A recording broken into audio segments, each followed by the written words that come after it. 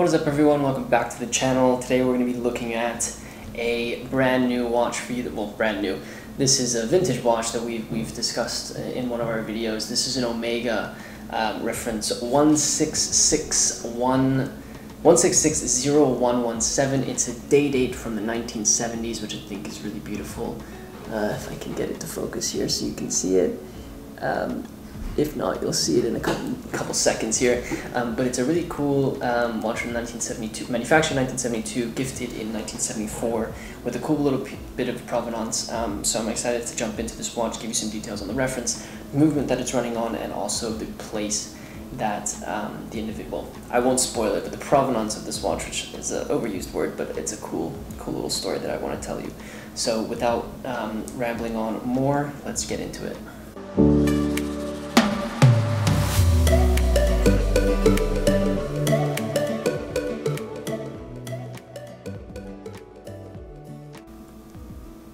To call a watch untouched is a big statement.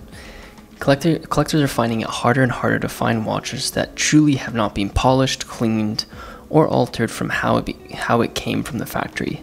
So it's hard to state the, that the Omega that you see in front of you is untouched, but to my eye, this is exactly what this uh, day date is. This watch is the reference 166017 and it was manufactured in um, 1972. The reference is part of the Genève line of watches that Omega produced along with other lines such as the Seamaster, DeVille, and Constellation lines that many of you have heard of. Many collectors will point to the Seamaster and Constellation lines as um, as being lines of watches um, that are more collectible mainly due to the variations in dials and cases and lug designs, collectors are able to kind of explore different models a little bit more broadly. Um, the Genève line has often been spoken about as being very consistent in the designs that they have, that they use for, for their watches. Um, and so on the outset, the this Genève might kind of fall into the trap of being too similar to other models. But what I think makes this model really unique is obviously when you when you see this watch is the originality, the patina, and the provenance of this watch. So to give you a little bit of detail about this reference, so the 1660117 uh, is an automatic watch that was introduced by Omega in 1972. The reference was produced throughout the 1970s and featured an automatic movement and had the day, date, day and date complication that you see at 3 o'clock. The dials of these watches um, obviously have the complications at 3 o'clock, um, which is a traditional location for where these are. This version has this really beautiful uh, champagne dial with applied hour markers and lume plots. The lume is also applied to the hands, which you can see on the minutes and, and hours hands here. The Omega logo and name are not applied, but they're printed on the dial normally towards six o'clock where you see this logo, there would be the word Genève printed to indicate which line of watch it was uh, part of. Um, but instead, we have this C shaped logo that's printed. We'll talk a little bit more about that when we get to the provenance of this watch. Um, on the description alone, the watch falls into the way collectors think of the Genève line. Very, very similar to many of the watches that were produced previously. Um, and, you know, some might say somewhat uh, they could, you could describe it as being a boring watch. But I think this watch is anything but that. Um, digging a little bit deeper, um, we can talk a little bit about the patina. So, as you can see as I sort of turn this watch around, you can see that it has this really, really unique patina. The color of this watch is really what what what takes it. So the case is yellow, 10 cold 10 is yellow gold plated, but the yellow has turned this really unique sort of patina color which I will say patina is subjective. I think we all know that that is the case. Either the patina of the dial or the patina of the case collectors like or they don't, and it can vary so wildly by collectors. Some people like things that are um, in pristine condition. Some people like a little bit of patina where they can see the aging of a dial or a case. Some people like a little bit more of a, a unique look at at um, at the term patina. But looking at the patina in this case, you can see this darker color that may not be appealing to too many people. But what's really cool, and I'm hope hopefully I'm showing you this, is as you sort of move the watch a little bit, um, you can see that the watch has a couple of different colors. Um, and it creates a really unique color. So you might see patches of this, this, this case where you see a blue hue in certain lights. You might also see sort of a like a red hue um, that's developed. Um, part, parts of the lugs and the tops of the cage has sort of a reddish hue um, that really adds an additional layer and contrasts really nicely with this really pristine uh, dial. If you move to the crystal, and, and I think this is something that people might say, is how has the case of this watch aged the way that it has, and the dial has remained fairly pristine? There might there must be something going on with this watch. Well, if you look at the um, crystal of this watch, these crystals were typically replaced, especially um, especially because these scratch very very easily and so a lot of the times the crystals that you get are replacements but Omega made a way where you can actually identify if the Omega came from or was originally produced by Omega, where essentially at the center of the watch, you can see the Omega logo on the underside of the crystal. And if you pick up a loupe and look at this watch, you'll see that Omega logo looking at you. So I think I can, with some certainty, say that the crystal of this watch is probably original. Now, that doesn't extend to the um, to the dial, of course.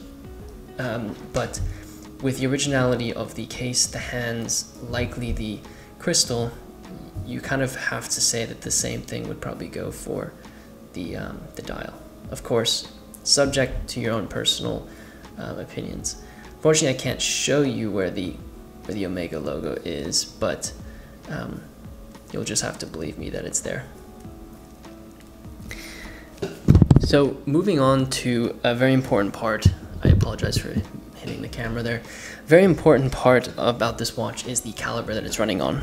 The watch is running on the caliber, um, the caliber 1020 movement. The movement was based on the Omega caliber 1010 movement, which only had a date function, but the 1010 basically added that additional um, additional day function to the watch. The movement was actually first introduced in 1972, which is cool because um, it was produced in 1972 and introduced in 1972 and then produced until 1984, meaning the, the, the movement in this watch was likely one of the first uh, 1020s that was ever produced that came out of the factory, which is quite cool. The movement has the very typical rose gold tone finish to it, which is actually a copper alloy, um, something that some people, uh, there's a little bit of a misconception about that, um, which I thought was quite cool. Show some more of this watch here for you. Um, the movement, um, the the 1020s are actually the 10 really the 1010 and the 1020 movement is known for being um, somewhat of a, a, difficult movement for watchmakers to manage. Setting the tensions on the cannon pinion, which is the piece that drives that the watch's hands um, to rotate, can be difficult um, because if you set it too tightly, um, it can cause the teeth in the minute wheel to, sh to shear off. And if it's too, the tension is too little, the hands won't actually be able to move through the date uh, changes. So it can be a little bit of a temperamental movement um, for watchmakers when they're sort of maintaining these watches. Um, but once done properly, the watch actually has a quick set date function for both the day and the date complication, which is really useful. Um, piece of watchmaking for a wear. So essentially, if you pull the crown out one position, you can advance the um, the day of the month, and then if you pull it out two positions and you um, wind the hands in the opposite direction, um, it'll change that day function. So a really important part, and I'd like to zoom up for this, um, is the provenance of this watch. Um, as I mentioned sort of in the introduction. The stainless steel case back actually has this really cool hand engraving. I'm gonna see if I can get it for you here. Um, it has this hand engraving that says for loyal service peanut heinous 1974 continental canco so the inscription likely points to the sale and gifting of the watch in 1974 to an individual who worked at Continental Canco. Um, Continental Canco was an American producer of metal containers and packaging based in Stamford, Connecticut. It was founded in 1904 and interestingly held, helped during World War II by building aircrafts, aircraft parts in their manufacturing plants. They were even involved in an antitrust lawsuit in 1956 when they tried to acquire the third largest producer of glass containers. Most of the company today was, most of the company was later sold, and there really isn't an existence of this company um, anymore today. So, of course, the natural question that one would ask is who is this individual, Peanut Heinous? I spent a considerable amount of time trying to research who this individual was, and unfortunately, I really couldn't find a record. There were many people with the names Ed Heinous, Mike Heinous, John Heinous, um, who, uh, who you know, uh, I, I, was able to find, but unfortunately, the nickname Peanut was just something that I couldn't connect with Continental Canco. Um, so, unfortunately, I'm not sure who the individual was um, the the individual that I did find worked for steel companies and doctors who had something like 16 pa- uh, patents, um, but none of them really seemed to have a connection to, to this company. Um, nevertheless, I I really think that the reason why this watch was gifted makes it really special. It was gifted for loyal service, and these gifts are seldomly given today. Most of the time, you're really you're gonna get a pat on the back or um, something like that. Um, and so I think it really defines a period of watch watch collecting, anywhere from something like the 40s to the 70s, where this was sort of a, a really um, important tradition that many companies uh, many companies uh, did. I think it, it's a beautiful bit of history that adds this really unique um, looking uh, watch that's in really great um, original condition.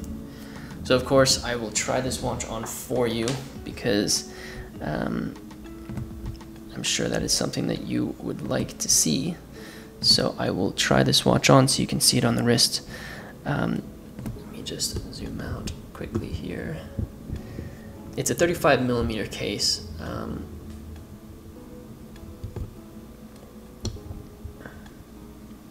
which to, to some is going to fit well, to some it won't. Um, but for me, I think it fits really nicely on my wrist. Um, so if you wanna, here I'll actually zoom in just a little bit. So if you see it on my wrist here, you can see that the lugs are shorter than maybe some of the other watches that I've looked at on the channel. Um, but a really nice fit, a really nice um, look to it. Quite a uh, quite a unique looking piece um, with the way that it's patinaed and especially with the logo down here. Um, and I think is a is a nice a nice piece of history um, if you're kind of into collecting those types of uh, those types of watches. Really, really nice. Um, yeah, 35 millimeters doesn't fit everyone, but it definitely fits my wrist. Um, so, as I mentioned, I think it's a really nice watch for what it kind of stands for, which is loyal service to companies and really acknowledging the types of work that people do for companies. And um, it's something that doesn't happen uh, as often today. Um, but it's a nice reminder that this was a tradition and um, it's a wonderful way to celebrate someone's contributions to an organization, especially because this individual likely worked for this company for many, many years.